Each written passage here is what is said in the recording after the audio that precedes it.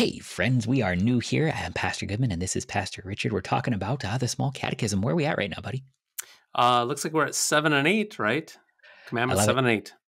So the seventh commandment, thou shalt not steal. Um, I, I remember sort of looking at these, and I, I like it that that the rules actually say more about the giver than the person who's probably not following them. God actually cares about your stuff. He he wants you to have the stuff that He has given you, so much so that He says nobody's allowed to come along and take it. Right?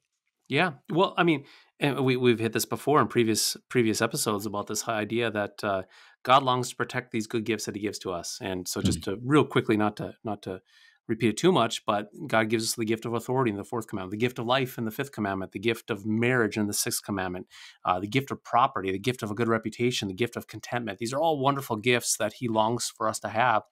And so he puts these protective fences around to protect us from ruining it. And, and uh, I've always used this illustration. Our sinful nature is kind of like that kid on the beach who wants to come along to that sandcastle and just destroy the sandcastle. Uh, and you know, all of us have that within us. You know, you mm-hmm. see this beautiful sandcastle, and you just there's a part of you that just wants to kick it over and knock it down, or like a a, a, a house of cards. You just want to pull that out and knock it down, and that's tragically that's our sinful nature. It just wants to come and destroy these things, and God longs to protect these gifts for us uh, that He gives to us. That He lays these fences out to show that Thou shall not do these things.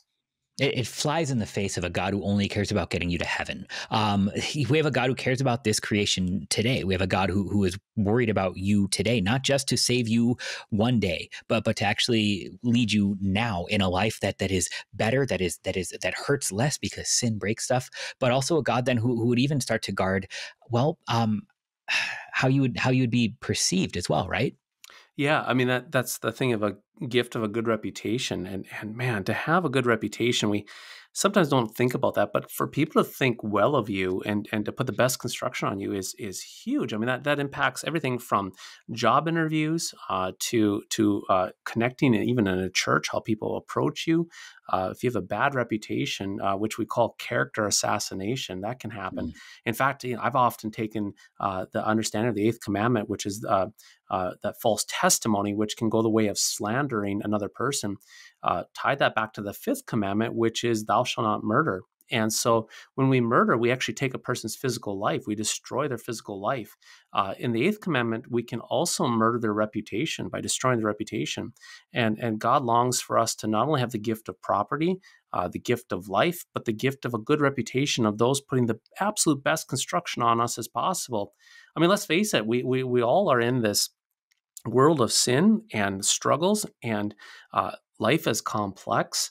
Uh, there's oftentimes many different components to the decisions that we make, and even though when we make bad decisions, at many times there's there's oftentimes there's a best construction of why we did that, and that's where we have the eighth commandment is to put the utmost best construction on each other, uh, understanding that we're sinners uh, sin that sin and struggle by by by the sinful nature that we have, but also sinners redeemed in Jesus and that a uh, little bit of compassion uh, can go a long way in that eighth commandment.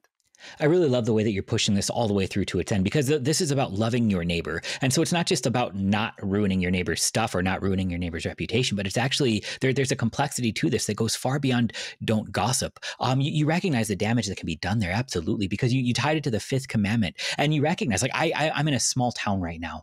Um, if you stabbed me and stole my wallet, I would heal faster than if you ruined my reputation here. I, I yeah. just have to move.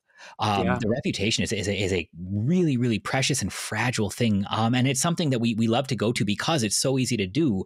Um, that, that like it, this is actually one of the ways that sinners, like you said, when we're looking at that sandcastle, if we, if we really want justice in the world, um, it, and, and we're not seeing it the way we want, it's easy to, to, to ruin people's reputations to if, if the the powers that be won't come along and get them in trouble, I'm at least going to make sure that everybody knows who they really are. And I'm going to say these things. And it stops being about whether or not they're true or false, even. But like you said, this is actually are you doing your neighbor's character? Good or are you doing it evil? So when when luther talks about this he doesn't just say don't gossip or even just don't don't say it if it's not true but we should fear and love god so that we do not tell lies about our neighbor betray him slander him or hurt his reputation but defend him speak well of him and explain everything in the kindest way. That doesn't mean that we we say that their sin is a good sin. That doesn't mean that we we make wrongs into rights but it means that we're actually willing to to talk about them as if jesus died for them and as if they're worth defending as if jesus were to defend them from the cross Well, and I think you bring up a good point when it comes to the eighth commandment. I think we have two two opposite errors on that. On the one side, uh, we, we we we go down the road where we absolutely slander and destroy a person's reputation, and, and that's that's sinful. It's wrong. The opposite end is where we put and honeycoat everything and we sugarcoat it to the point where uh, if there's a, if there's an open sin, a public sin, we we we put it, you know we stuff it stuff it under the rug. We put our head in the sand. We don't look at it and that's neither is is healthy. Uh, in other words, but we can look at a person that's maybe uh, morally failing, and we can acknowledge the moral failure, but then we put the best construction on it as possible, and then we have a sense of compassion, which goes back to all the scriptures. When a when a when a brother is sinning, you who are spiritual, restore him gently uh, with compassion, taking the plank out of your own eye, uh, knowing that uh, we too are just as susceptible to those sins that we see in our neighbors, uh, if not more and so that we approach each other with compassion, uh, integrity in Christ, and the forgiveness of sins. Uh, it's it's all together. You know, there's another aspect. It's kind of fun when we talk about this. You know, the eighth commandment kind of bounce back to the fifth commandment, and they kind of all intertwine. Yeah. I, I, you know, maybe we're getting ahead of ourselves, but the the idea of coveting, which is ninth and tenth commandment. Uh, I've always heard that that when we covet, coveting is when our eyes grow hands. I've heard it said hmm. before. And I love that phrase. And I can't recall who I heard it from, but we hmm. start coveting our neighbor's stuff and things. And then that leads us to what? Then get jealous and then we slander them with our mouth. And so coveting is the eyes, slander is the mouth, and stealing is the hands, right? So you look at all of our senses are being involved in these 10 commandments. So we sin with our eyes through coveting, we sin with our mouths through the eighth commandment of false testimony, we sin with our hands uh, with respect to uh, stealing, and also we, we we sin with our whole body when we what use our force of our body to what murder. And so right. we see how these wonderful gifts of, of our sight and smell and ears to receive good gifts and to cherish these good gifts that God gives us and to to to serve our neighbor uh, with these senses, then how these senses can be perverted by our sinful nature uh, to exploit and hurt our neighbor and also hurt ourselves. And so I love thinking of all these kind of as a as a chain together in a lot of ways.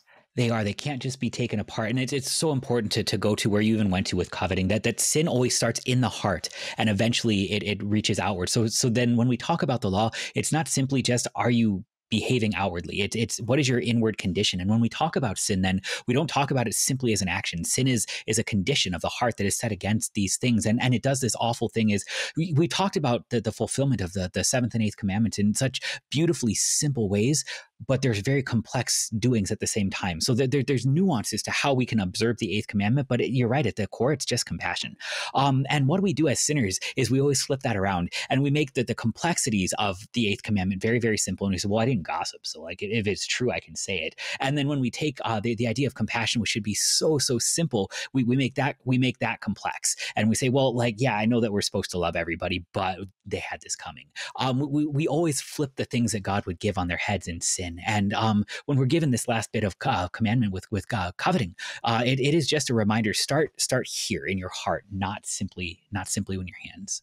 Yeah, yeah, and and as we we take an honest look at the Ten Commandments, uh, we realize that we not only fail in our deeds, but as we confess on Sundays, we we fail in our thoughts, and then we fail in our words, which encompasses all of us.